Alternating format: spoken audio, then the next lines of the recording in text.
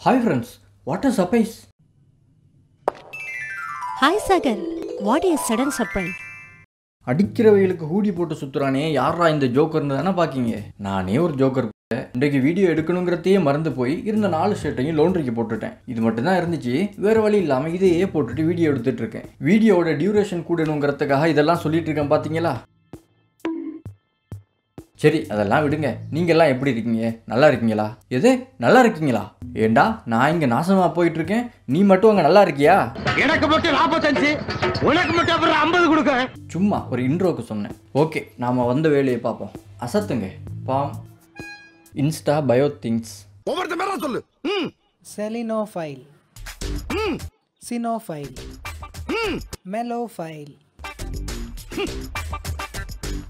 Melophile. Bibliophile. ஐயோ பூரா file கிராக்கியா இருக்கீங்களடா உங்க ஆத்தாப்ப உங்களுக்கு பேரை வைக்கலையா? வச்சதுக்கு அப்புறம் வச்சது. இவனுங்கெல்லாம் பீடோ ஃபைல்னு மட்டும்தான் வைக்கல. சீக்கிரம் வச்சிருவானுங்க. இதே மாதிரி இன்னொரு டீமும் இருக்கானுங்க. இன்ட்ரோவர்ட் எக்ஸ்ட்ரோவர்ட் ஆம்பிவர்ட்னு சொல்லிட்டே கொஞ்சம் பேர் சுத்துறானுங்க. மனநலம் பாதிக்கப்பட்டு யாரோடையுமே பேசாம இருந்தா அதுக்கு பேர் இன்ட்ரோவர்ட் அப்படியே அந்த பைத்தியம் முத்தி போய் வாரமும் போறவன் எல்லார்கிட்டையும் வள வள வளன்னு பேசிட்டு இருந்தா அதுக்கு பேர் எக்ஸ்ட்ரோவர்ட் இந்த பைத்தியம் ஒரு மிதமான நிலையில இருந்தா அதுக்கு பேர் ஆம்பிவர்ட் இப்படியெல்லாம் சொல்லிட்டேன் ஊரை ஏமாத்திட்டு சுத்துற நீ. தலை மட்டும்தானே பத்துன்னு சொன்னாங்க. ஏன் ராவணன் ஃப்ரம் ஆப்பிரிக்கா போய் பார்த்தா இந்த தண்டி. போய் பார்த்தா இந்த நண்டி நல்லா பார்த்த மகனே காத்துல ஆடிக்கிட்டு இருந்துச்சு சந்தேகப்பட்டு இழுத்து தொங்கி பார்த்தேன். அது போட்டு தான் இந்த படத்துல பிரபாஸ் நடிக்காருன்னு எல்லாரும் சொன்னீங்க. ஆனா விஷால் நடிக்காருன்னு எவனாச்சும் சொன்னீங்களாடா? ஆ சொல்லிட்டா மட்டும் அப்படியே கூட்டம் அள்ளிடும். Me losing my heart to random dollies in bus stop S சொல்கிறேன்னு தப்பாக நினச்சிக்காதீங்க. ஆம்பளையாக இருக்கிறது அவ்வளோ ஈஸி இல்லை. பஸ்ஸில் போகிறப்ப அங்கே ஒரு டோலி மேலே க்ரஷ் வரும். ட்ரெயினில் போகிறப்ப அங்கே ஒரு டோலி மேலே க்ரஷ் வரும். ஃபேஸ்புக் போனால் அங்கே ஒரு க்ரஷ் இன்ஸ்டா போனால் அங்கே ஒரு க்ரஷ் எதிர் வீட்டில் ஒரு க்ரஷ் பக்கத்து வீட்டில் ஒரு க்ரஷ் பின் வீட்டில் ஒரு க்ரஷ் எல்லா படத்திலும் காதல். இதில் மேட்ரு என்னன்னா அந்த பொண்ணு தான் க்ரஷ்ங்கிறது அந்த பொண்ணுக்கே தெரியாது. உதாரணத்துக்கு இந்த வீடியோவை கேர்ள்ஸ் யாராவது பார்த்துட்டு இருந்தீங்கன்னா உங்களையே க்ரஷ்ன்னு சொல்லிட்டு ஒருத்தன் சுற்றுவான் ஆனால் அது உங்களுக்கே தெரிஞ்சிருக்காது. இதெல்லாம் க்ரஷ்ன்னு சொல்லிட்டு சுற்றுற வரைக்கும் தான். லவ் பண்ணுறதுக்கு ஆரம்பிச்சிட்டோன்னு வைங்க. யாராவது ஒருத்தன் கூட பேசுகிறத பார்த்துட்டோம். ஒன்றும் இல்லை சும்மா ஆசிட் அடிப்போம். காய்ஸ் நான் சும்மா காமெடிக்கு சொன்னேன். பிரேக்கப் ஆயினது பிறகு ஆசிட் அடிக்கிறவன் ஃபேஸ்புக்கில் அந்த பொண்ணோட ப்ரைவேட் ஃபோட்டோலாம் போட்டு மானவங்கப்படுத்துறவன் இவனெல்லாம் மனுஷனாவே இருக்க மாட்டான். இஞ்சி இருக்கிறதுனாலையெல்லாம் நீ ஆம்பளை ஆயிட முடியாது. சுன்னி. தமிழர்கள் எங்கெங்கெல்லாம் இருக்காங்களோ எல்லோரும் நீக்கமர பயன்படுத்தக்கூடிய ஒரு வார்த்தையா வந்து மாறிடுச்சு. சுன்னி அப்படிங்கிறது பாத்தீங்கன்னா ஆண் உறுப்பு எல்லாருக்கும் தெரியும். ஆனா சுன்னிங்கிறதுக்கான அர்த்தம் என்ன அப்படின்னு பார்த்தலாம் சுண்ணம் எல்லாருக்கும் தெரியும். சுண்ணம் சுண்ணாம்பு இதுக்கான தமிழ்ல அர்த்தம் என்னன்னு பாத்தீங்கன்னா வெண்மை தூய்மை அப்படிங்கிறது. தூய்மையான வெண்மையான உயிரணுவை வெளியிடக்கூடிய உறுப்பு அப்படிங்கறதுனாலதான் சுன்னி அப்படின்ற பெயர் வந்தது. சுன்னத் அப்படிங்கிறது தூய்மை அப்படின்ற ஒரு அர்த்தம் உண்டு. தூய்மையாக்குதல் அர்த்தம் உண்டு. அதுவும் இது தொடர்புடையதுதான். சோ கண்ணு காது மூக்கு மாதிரி சுண்ணி அப்படிங்கறதும் நம்மளோட ஒரு உறுப்பு தான் பொடாயம் கண்ணு பொடாயம் வாய் பொடாயம் மூக்கு அப்படின்னு திட்டுறது எவ்வளவு சாதாரணமோ அதே மாதிரி பொடாயம் சுண்ணி அப்படின்னு திட்டுறதும் சாதாரணம் தான் இது எப்படி கெட்ட வார்த்தையா மாறிச்சுன்னு தெரியல. அவ்வளோதான் இனிமே எவனாவது யூடியூப் ரூல்ஸ் கில்ஸ்ன்னு சொல்லிட்டு வரட்டும். யூடியூப் வீடியோஸில் கெட்ட வார்த்தை பேசினா மோனிடைசேஷனை டிசேபிள் பண்ணிடுவானுங்களாம். இல்லைனா மட்டும் கோடி கோடியாக அள்ளி கொடுத்துருவானுங்க இவனுங்க. சி சுன்னிங்கிறது கெட்ட வார்த்தை கிடையாது. போடா என் கண்ணு போடா என் மூக்குன்னு சொல்கிற மாதிரி போடா என் சுன்னிங்கிறது ஒரு வார்த்தை. அதே மாதிரி இன்னொரு வார்த்தை சொல்லிக்கிறேன். கெட்ட வார்த்தை எடுத்துக்கிட்டா பெண்ணுறுப்ப மையமா வச்சு தானடா நீங்களாம் கெட்ட வார்த்தை பேசுறீங்கன்னு சொல்லுவாங்க. அது ஏதோ ஒரு வகையில உண்மைதான். ஆனா விஜய் வரதராஜ் சொன்ன மாதிரி கெட்ட வார்த்தையில எதுக்குங்க கம்யூனிசம் பாக்கீங்க? போடா சுன்னி நல்லா தானடா இருக்கு. இன்னும் கொஞ்சம் பேர் வீடியோல கெட்ட வார்த்தை பேசாதீங்க ப்ரோன்னு சொல்லியிருந்தீங்க. தவறுதலா வந்துடுச்சு. தப்பா நினைச்சுக்காதீங்க. தவறுதெல்லாம் வந்துருச்சுங்க தப்பா நினச்சிக்காதீங்க.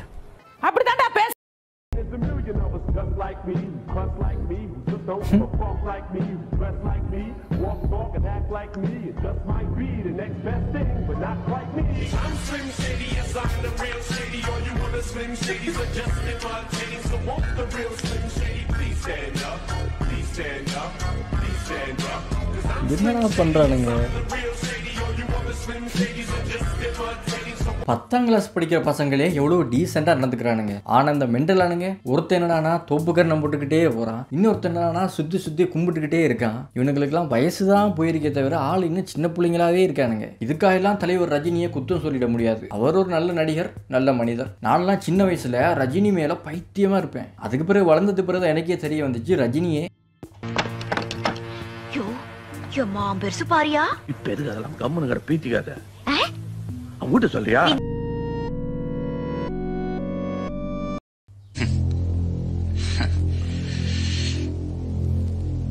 உண்மை காதல்னா சொல்லு. என் உயிரை கொடுக்குறேன். நான் இதுக்கு முதலே ஒரு வீடியோவில் சொல்லியிருக்கேன். உங்கள் ஃப்ரெண்டு எவனாவது கமிட்டட் ஆயிட்டான்னா அவனை விட்டு தள்ளியே இருங்க மச்சான் லவ்ல பிரச்சனைடா கொஞ்சம் ஹெல்ப் பண்ணடான்னு சொல்லிட்டு வருவான். நீங்களும் ஹெல்ப் பண்ணலாமேன்ட்டு போவீங்க. அப்படி போனீங்கன்னு வைங்க. உங்களுக்கு சம்மந்தமே இல்லாத ஒரு பிரச்சனையில் உங்களை மாட்டி விட்டுட்டு அவன் மிஸ் ஆயிடுவான். அதுக்கு பிறகு ஏதாவது ஒரு மூத்திர சந்தல் வச்சு உங்களை தான் கும்மு கும்முன்னு கும்முவானுங்க. மாப்பிள இவன் தான் எங்கேயோ செமத்தியா வாங்கியிருக்கான். இங்க வந்து வேற எவனோ வாங்கின மாதிரி அவுத்துறான் பாத்தியா? யார் இந்த அக்கா? யாருமே இல்ல. பேபி சீக்கிரம் கொடு. எது? குடுடா. கொடுத்து தொலைடா யாரும் வந்துடுறாங்க புரியுதா? நோ கிஸ் பிஃபோர் மேரேஜ் யாருங்க இவங்க? ஒரு மாதிரி வீரடா இருக்காங்க. இருந்தாலும் பரவாயில்ல. சொந்த வாழ்க்கையில தான் இது மாதிரி எதுவும் நடக்குது இல்ல. எப்படி அவன் விர்ச்சுவல் லைஃப்லயாவது இது மாதிரி ஏதாவது நடக்குது? சந்தோஷம். ரொம்ப நன்றிங்க. நீங்க போயிட்டு வாங்க. ஐயா ஏஸ் ஐயா இந்த இன்ஸ்டாகிராம்லங்கய்யா அசிங்க அசிங்கமாக நடிக்கிறாங்கய்யா பெண்கள் சில பிள்ளைய. அவங்களெல்லாம் கொஞ்சம் திருத்துங்கய்யா.